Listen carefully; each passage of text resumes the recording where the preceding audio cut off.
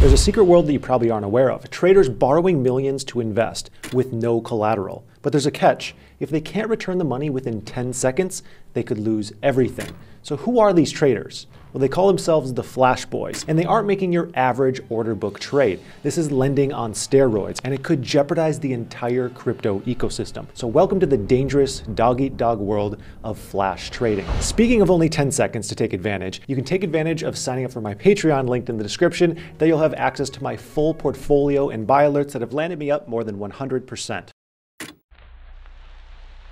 The year is 2018.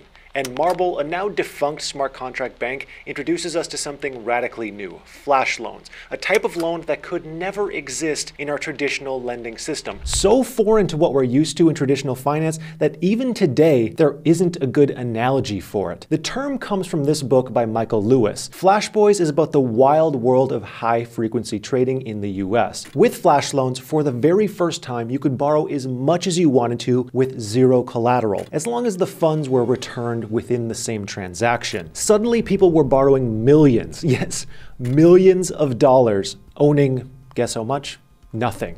This meant anyone could be a crypto whale. However, the idea didn't get much traction at first because the market was turning bearish at the time and hype was starting to slow down in the crypto markets. And the world started forgetting about flash loans altogether. And that is until Aave jumped in the scene in 2020. So you might be asking yourself, why would anyone borrow millions of dollars within one transaction. They have to give it back within 10 seconds. And the answer is profit. To help us understand how much could be made with flash loans, I chatted with software engineer Andreas. I mainly use them for uh, arbitrage trading. There was no use case for flash loans back then because people didn't know what to do with those flash loans. If we want to see a more clear example, that one, we know that a flash loan happened here uh, for sure. So that that one guy made three hundred thousand dollars in 10 seconds.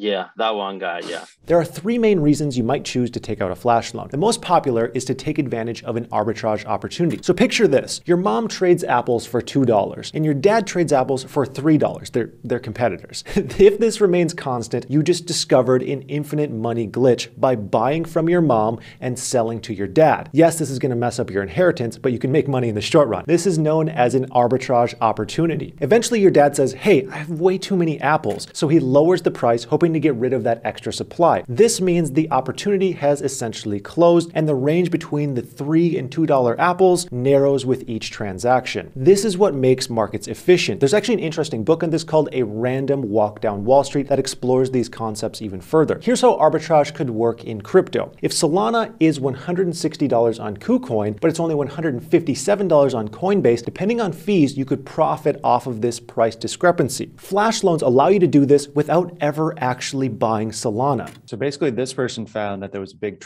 price discrepancy between Uniswap and SushiSwap. Yeah, among uh, three three different uh, uh, okay. uh, pairs, and exploited that difference to uh, to get the profit. Now, a second reason for flash loans is called collateral swaps. This would make a traditional banker's head spin. In order to borrow an asset traditionally, you need collateral, something worth money that shows that you're good for the loan. In regular finance, collateral is fairly fixed. If you borrow $100,000 against your home, you can't easily decide tomorrow that you'd rather switch and instead borrow against the pile of gold that you conveniently own instead. You know, you would have to do all sorts of paperwork, you would need to go through a refinancing process and get the proper approvals. With a flash loan, you're actually able to swap out your collateral on a loan for another asset within a single 10 second transaction. And then we have self-liquidation. If it's found that the collateral you put up for a loan is no longer worth enough to keep that loan, you will be liquidated, losing all of your money. With a flash loan, you can actually borrow money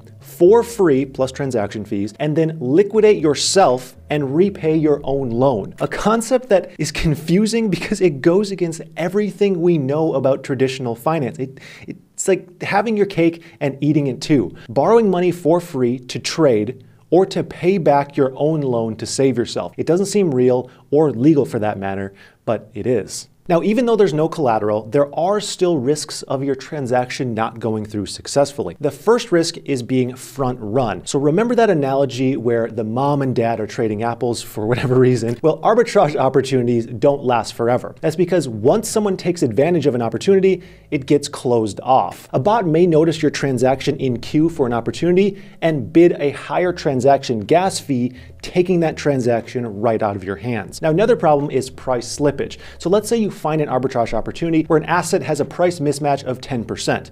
You buy it for $100 and you aim to sell it for $110. You need to consider slippage, supply, and demand. As you sell your asset, you are supplying it into an exchange. This increase in supply may lead the asset's price to drop lower if demand doesn't keep up at that same $110 price. This is mostly an issue on large trades. Finally, the biggest risk is network fees. In Aave's case, they take a 0.09% fee. Not too shabby considering that you're leveraging potentially millions of dollars. So if you borrow $1 million to buy from one exchange and sell it off on another, you could be looking at a five digit profit while only losing out on a $900 fee plus, you know, some additional transaction fees. The risk here is that you need to pay transaction fees whether the transaction is successful or not. That's where you can potentially lose some money. So if borrowing millions without any collateral and having free rein to send funds from a smart contract to pretty much anywhere on the same network sounds like a recipe for disaster, you'd only kind of be right. So if you understand basic computer programming, you're probably ready to execute a flash loan. But at what point does the 10 second loan become Nicolas Cage's Gone in 60 Seconds? Well, Take a look at the cruel fate of Pancake Bunny. On May 19th, a hacker made off with about $45 million in a flash loan exploit, tanking the price of Bunny tokens by 96% from $220 down to around $10 within a single day. Weeks later, it still couldn't manage to break $15. And that wasn't the end for Bunny Finance, because on July 16th, the company's new Polygon blockchain fork, Poly Bunny, got hit with yet another flash loan attack, minting $2.1 million worth of Poly Bunny tokens, tanking that token from around $10 to below $2. Some people think that Pancake Bunny knew about this exploit and it was an inside job, but whether it was or not, here's how it was done. First, the hacker borrowed more than 700 million in BNB from seven Pancake Bunny lending pools and around 3 million in Tether. They used this to manipulate the price of BNB using a bug in. Pancake Bunny's BNB USDT liquidity pool, this allowed them to mint almost 7 million Bunny tokens. The hacker then dumped these tokens for about 2.4 million BNB, causing the price of Bunny to plummet. After repaying the flash loans, the hacker was left with over 100,000 BNB worth about $45 million. The exploit here was a result of a flaw in the Pancake Bunny protocol. Once the hacker knew how the protocol was determining prices, all he had to do was manipulate the price of each component to game the system and steal the money. A bunny that even Nicolas Cage couldn't put back in the box.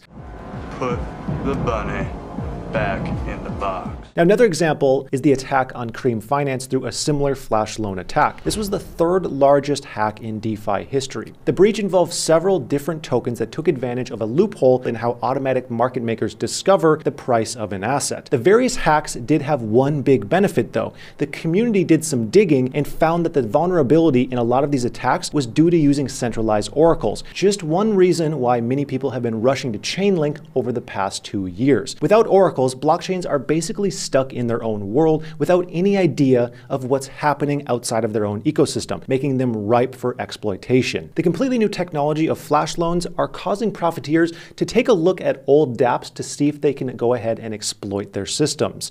And this is where we're at now, a new gold rush in crypto, a pirate era of flash loans where anyone can search for opportunities within smart contracts as long as they can get out within 10 seconds. So here's a question that I want to ask you.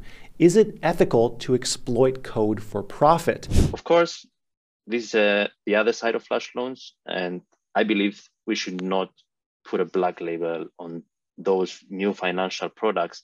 Uh, it is just what mm-hmm. happens with every new technology. To me, I don't see a major issue with flash loans. Every system has their own individual quirks, and blockchains have the quirk of settling transactions in batches. Because transactions are settled in batches, this allows people to use the funds within that transaction as long as they put everything back where they found it before the transaction settles. And ultimately, no one should be hurt. Of course, we don't want black hat actors to steal from people or steal from exchanges, but it seems with time systems will be built in order to prevent the darker side of flash loans. From here, I'd like to thank today's sponsor, iTrust Capital. iTrust allows you to place your crypto in a Roth retirement account. What this means is you can buy, sell, and trade crypto and pay zero capital gains on your wins. This is amazing for traders. With a Roth, you pay your tax upfront when putting money into the account, and at retirement, you pay no tax once you start pulling out at age 59 and a half years old. This is probably the most simple way to save on all capital gains. iTrust will be linked in the description of this video. If you use that link to open an account, you'll receive receive $100 in free Bitcoin just for joining. Now, next up, I recommend you watch this video covering other underground investment strategies. And I would like to thank you so much for watching, and I hope you have a profitable day.